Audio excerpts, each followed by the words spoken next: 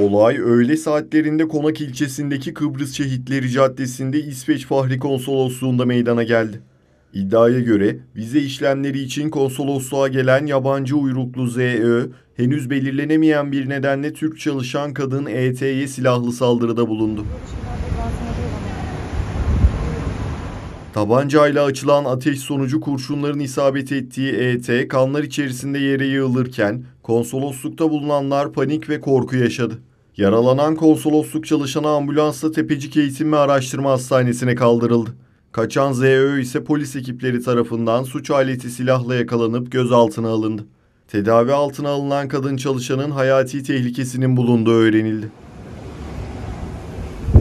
Olayla ilgili başlatılan soruşturma sürdürülüyor.